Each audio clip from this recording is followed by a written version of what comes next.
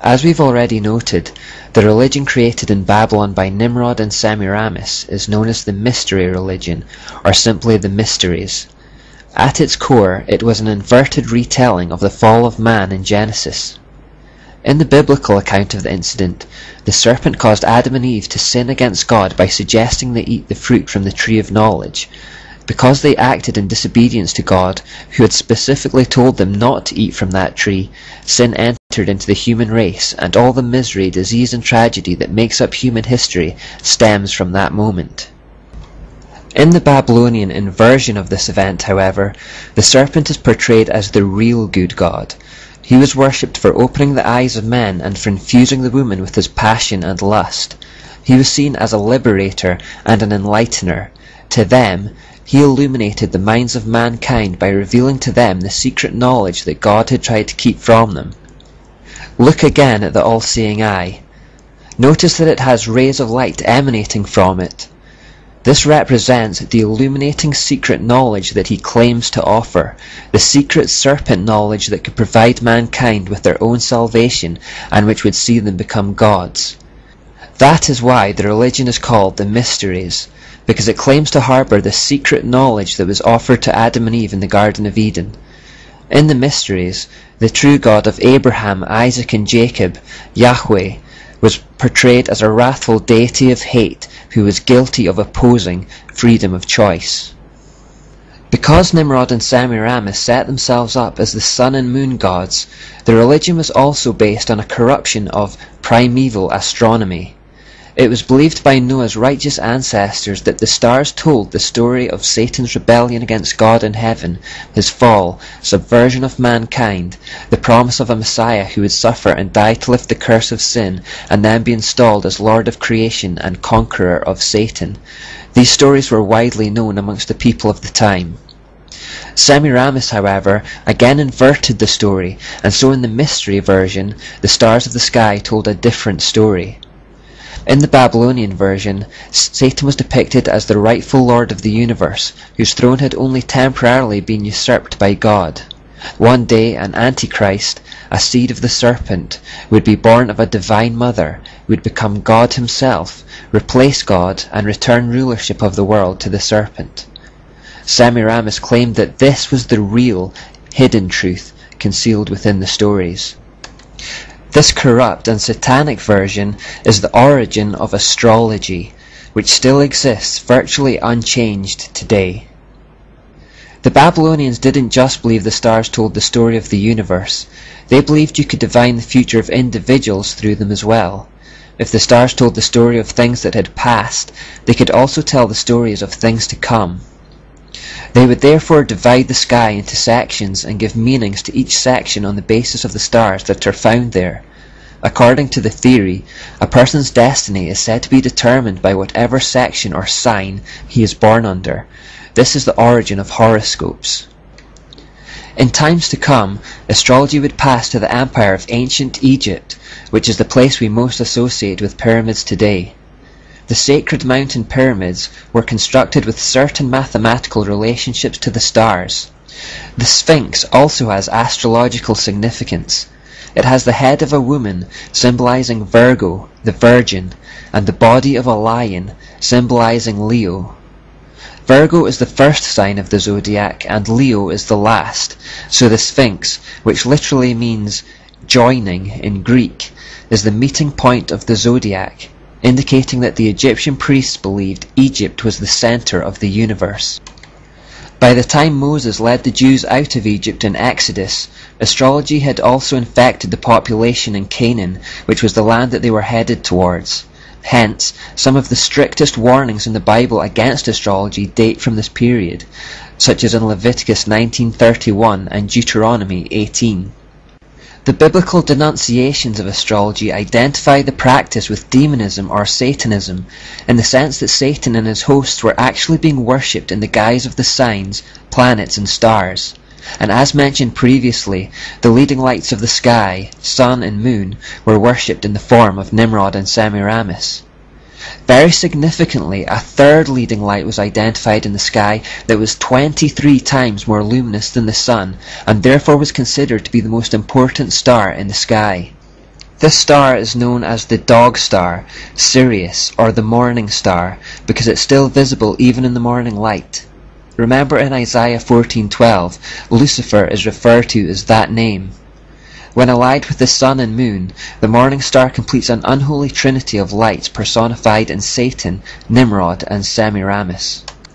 One of the key elements of the mysteries that I also want to emphasize is the hierarchical structure that they contained. The secret illuminating knowledge from the serpent was not to be freely distributed to the unworthy. You would have to become initiated into the religion and then work your way through ascending degrees of revelation and knowledge. This ascension through the levels was considered to be a journey from the darkness of ignorance to the light of knowledge, a process of enlightenment. Progression was propagated by a hierarchy of priests and priestesses, and were marked by fearful rites of passage and oaths of secrecy, which, if broken, would lead to death. Similar oaths of secrecy are sworn today by other hierarchical institutions, like the Freemasons and Jesuits, but more about them later. The further along in the process you were, the more enlightened you were considered. The more enlightened you were, the more you could look down your nose at the unenlightened. The hierarchical structure of the mysteries was designed to create inequality amongst men based on what they knew. It can itself be best visualized in the form of a pyramid or a ziggurat again, wide at the base and increasingly narrow as you rise through the levels towards the peak. The idea is that there's an average mass of people at the bottom of the pyramid who are ignorant blind fools, with an increasingly small number of enlightened people towards the top. The very top, the capstone as it were, is Lucifer himself, the giver of light. If you've read or seen Harry Potter, you'll be vaguely familiar with this concept. In those stories, the name Muggle is given to the majority of people in the world who go about their lives utterly oblivious to the wizarding world that is actually all around them, or at least very close at hand.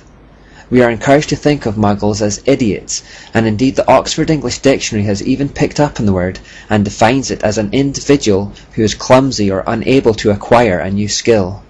Those who were born into a Muggle family but have been awakened to wizardry are called mudbloods, i.e. half-bloods, and this places you on a higher position than a muggle, but a lower position to those who have centuries of pure wizardry in their ancestry.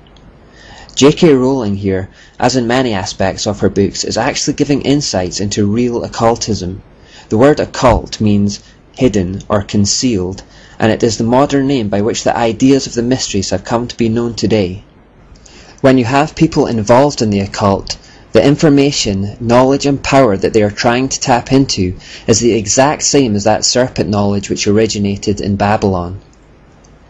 The idea of occultism retains the concept that there are a powerful, enlightened or illuminated few at the top who see things as they really are, and the rest are kept in the dark, mere ignorant fools.